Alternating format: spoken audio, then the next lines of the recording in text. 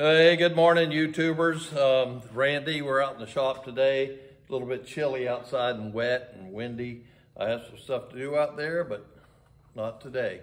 Um, about, oh, in January, I guess, one of my uh, um, adventure vacation clients was here. He comes every year, and uh, he was working on his coach and realized that his bay door locks, 95 wide body, his bay door locks were not locking with the keyless entry um, stuff. With that keyless entry stuff is a Motorcraft or Ford, the little touchpad by the door, and then the control box, it's about that big. It's up in the overhead. But the door, entry door, was locking and unlocking with the remote, with the keypad. And we didn't know, we don't know when the bay doors stopped working. Um, the bay doors would not lock. So uh, he didn't know when they had quit locking since the, the entry door was working. He assumed, and we all assumed, that the bay doors were working as well, but they were not. So we tried to think back what happened, what what did we change? Because he's been doing he does projects on his bus all along. And what changed? Well, he put a new touchpad, the keypad in, which is Ford, like I said. He put one of those in new, and so that's the first place we look, okay? So we took the, the wall panel off inside and, and checked all the wires, and everything seemed to be like it should be, but door locks, you know, the bay doors still weren't locking. And uh, so what else has he done recently? Well, we put a, a Girard awning on it and uh, all that wiring that comes out of the Ford module for the door locks is up in the overhead above the dash, above the windshield. So we might have stirred up something up there, a wire or something. And but he also did a bunch of tail light work, put some new tail lights and stuff in. So that was work in the back, which shouldn't have been near the the bay door lock stuff. But, you know, we're just trying to figure out what, you always go back to the last thing you worked on. It might have related to this new problem. So we were checking the, uh, the door lock motors in the bay doors, which is a General Motors um, door lock motor out of a Buick or a Chevy, all the same, probably in about 90. And uh, it had power. There's two wires, and the way that works is reverse the polarity to pull, and it reverses the other way to push. So something changes that polarity. But both our wires were hot. We didn't have, we need a ground and a hot to make them work. And you reverse that to go the other way. But both of them were hot. Now, how could that be? So we're looking and we're talking about this. And this rocked on a couple of days, you know, because we, you don't, you just got to kind of figure it out before you tear stuff up. So we took the overhead down up behind the TV. I think it's behind the TV. TV swung out and the Ford module was there. And I don't know how many different modules Ford makes like that. We, and I had a part number, but I forgot. Uh, I don't know what it is right now. This was in January. We were working on this thing. But uh, the Ford module seemed to be fine. And, uh, and we didn't really have a schematic on how all that was wired up with Bluebird, how Bluebird did it or how Ford did it either. So we're watching YouTubes and there's guys taking them out of Cougars and stuff like that at the scrapyard and putting them in early model Ford pickups and stuff. And it's kind of interesting. It's a pretty universal module. And uh, I think that they will do a lot more actually than we are getting out of them on a Wanderlodge. You can turn lights on with them, you know, door lights, interior lights, uh, remote with a key fob, which we don't have. Um, but and I'm not sure if that module will work with a key fob if you had a key fob or how to program it. But anyway, we're talking about this and and I I didn't understand why the door lock entry door would work properly, but the bay doors wouldn't. So now we got us thinking, is it a wire between there? Um, and you know, we always say it's always the ground, but it never crossed my mind yet that it was a ground. So then we get a little bit of information, a schematic, and we're chasing all this stuff out. And this is the same from like 92 to 2003. So a lot of years use the same type module, keypad by the door, all that stuff. But they did change some relays, Bluebird did along the way. I don't know when, what years. I think 98 probably. But it turns out, and I have a picture here that I stole from Mally from a, uh, a thread he did a while back. These two solenoids here, this one and that one, that's what controls the door locks, bay door locks. These two huge relays. Overkill, you know, like all Bluebird stuff. But I think they use these because you could reverse the polarity from these two terminals to these two and, and make those door locks work. And, and they'll never go bad with that little bit of a load on them. So it's fine, but I, I had no idea that those two relays controlled it. so we were up in the overhead with a test light and we're testing this and this is all working, but there's no ground. So the ground is the white wires right here and they jump from one to the other, but they also get buried in this harness right here behind this green and orange wire and they go that way towards the entry door. Got to find out where, why that's not grounded.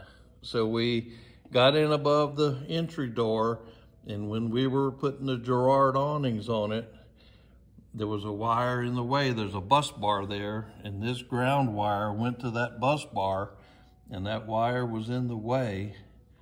So we, somebody, I didn't, one of us did, un unhooked that wire, unscrewed it from the bus bar, and tucked it out of the way to finish this Girard project, and we didn't hook it back up. So that was uh, a year before. We did that in 2022. So the reason the wire was still tucked and hidden, but we knew a wire had to go there. And we looked in the bus bar, and sure enough, there's a drilled and tapped hole in the, this brass bus bar where a wire should have been. We dug around, found the wire, hooked it up, and that worked. It fixed it. But it's always a ground, it seems like.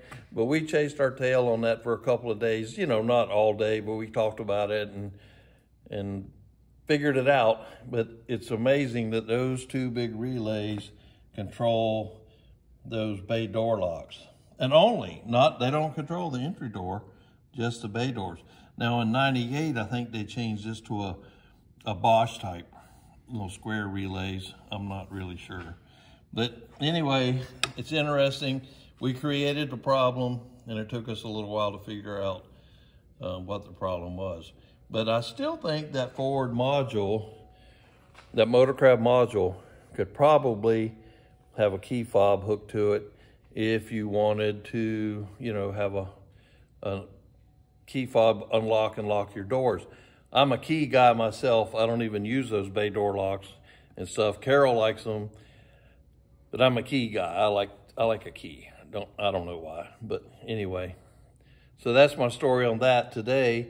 And uh, we I posted about this on the WOG forum a while back, and uh, didn't I don't know if we put this picture on there or not but it was an interesting topic. And that was a little bit of a bonus footage a week or two ago on WOG. I posted I needed to order some brass fittings that I was running short. I needed some fittings for another project in the yard. And I know some of you that know me had to giggle that have been in my shop and seen my hardware selection. So Carol's gonna walk this way and I'm gonna show you a little bit of my hardware. we got all kinds of bolts, nuts, big stuff, little stuff, lug nuts, inner nuts, big bolts, all kinds of little hardware in here. The bins are full. All this stuff on the floor. A guy gave me two five gallon buckets full of brand new bolts and nuts. Mixed, mixed bag. We poured them on the floor and every now and then I walk by and I pick some up and sort them out. But they're slowly getting sorted. But more here, more there, all over the floor here behind Carol's bicycle. Buckets full here. Boxes around this way.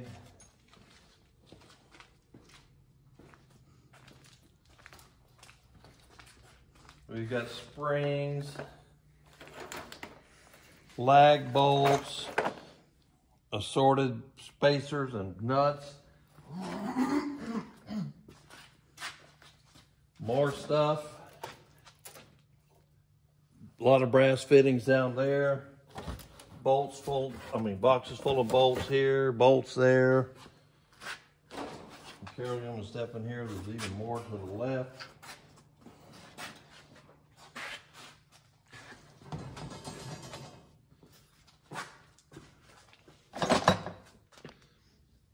I guess I'm a hardware junkie. When you need a bolt, buy two. When you need a, two bolts, buy 50. And then over here, we have more. Drawers full of hardware. Drawers here full of hardware. It's, it's little bitty stuff.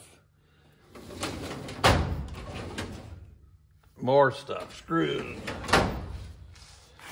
That's Bluebird parts there. Y'all don't want to see any of that probably. Relays, door switches, circuit boards, Ramco mirrors, remote switches. More stuff. Oh, here's that relay that I was just talking about. This is what this controls is the bay door locks. Look how big that is. I mean, that's industrial. And then while I was laughing about all my brass, needing brass parts, I got stuff up here that needs to be sorted.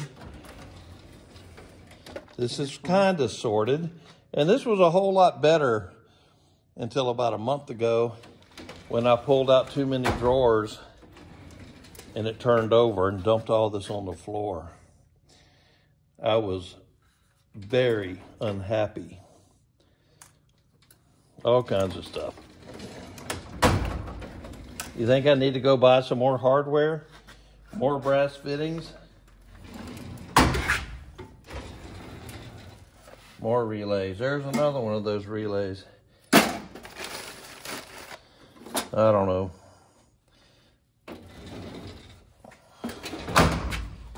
This is more Bluebird parts. Hardware. Anyway, that's but a little... But wait. What? Oh, Carol's reminded me. Not only did I turn it over once, I turned it over twice the same day. And here's how I did that. So I usually sit in my chair and I pull them out. Please you know, don't do it again. And I know I'm not. And I sort through, find what I need. So this drawer here is really heavy, believe it or not. And uh, so this particular day, my chair was over here. So I'm kind of side saddled here. I pull this drawer open. I'm looking for something. I left it open. And I pull this drawer out. Twice in one day. oh man, was I ever mad. It took both of us, all we could do to stand it back up. Dumped everything up here, down. Oh yeah.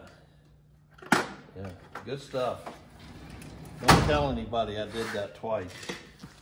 all right, well look, here's another one of those relays. God, I got them everywhere. All right, thanks for watching hit the like if you like it. If you don't like it, I got rabbits, little bunnies, Easter bunnies. And what? Subscribe. Oh, and don't forget to subscribe. Give me a thumbs up. See you down the road.